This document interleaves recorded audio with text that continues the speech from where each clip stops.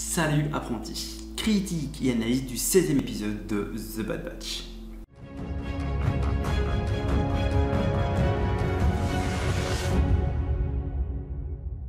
« 16e et dernier épisode de la première saison de la série Star Wars The Bad Batch. Le titre anglais est Camino Lost, ce qui donne en toute logique la perte de Camino en français. Encore un très bon épisode qui permet de conclure cette première saison de The Bad Batch. Oui, je dis bien première saison car depuis début août, Disney a bien confirmé une deuxième saison dès l'année prochaine. Cet épisode contient beaucoup d'émotions et surtout nous tease sur la deuxième saison. Bref, passons à la partie avec spoilers.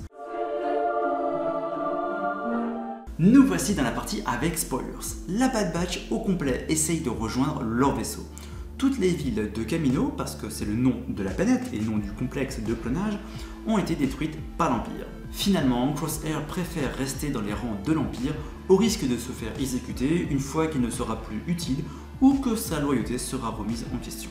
Nous avons des échanges entre chaque membre de la Bad Batch et Crosshair.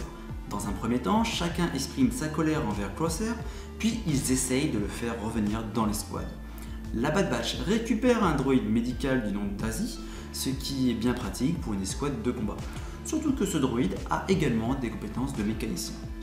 Tu sens la nouvelle mascotte de l'équipe? À plusieurs moments, j'ai cru qu'Omega allait utiliser des pouvoirs de la force. Mais non. Pour l'instant, cela reste une théorie, mais on a déjà vu plusieurs actions de sa part qui sous-entendent cela.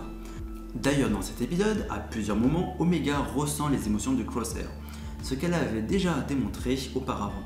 Bon, il y a des probabilités qu'elle ne puisse pas utiliser complètement la force, que les seuls pouvoirs auxquels Omega a accès sont des pouvoirs passifs. Le fait de ressentir les émotions d'autrui, check.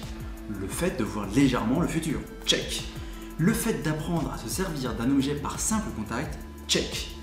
D'ailleurs, on peut se demander aussi pourquoi Omega se sert-elle toujours de cet arc laser au lieu de prendre un blaster Peut-être dans la prochaine saison, Omega arrivera à transférer de la puissance de force dans ses tirs, voire d'y imprégner suffisamment de force pour contrôler parfaitement ses tirs. Ainsi, elle pourrait ne plus manquer sa cible, voire faire des tirs en courbe. Je cherche toujours à comprendre le lien entre sa création et son utilité aux yeux des Caminois, en espérant qu'il ne s'agisse pas d'une facilité marketing pour attirer des jeunes filles à regarder et adhérer à cette série, en espérant qu'elles se mettent à regarder toutes les œuvres Star Wars pour cette raison.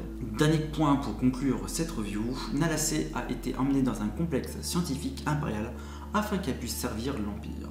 Donc ici, nous assistons au commencement du clonage de l'empereur Palpatine et la future création de Snoke. Vivement l'année prochaine pour la prochaine saison de The Bad Batch. Abonne-toi, mets un commentaire, un pouce bleu et partage la vidéo.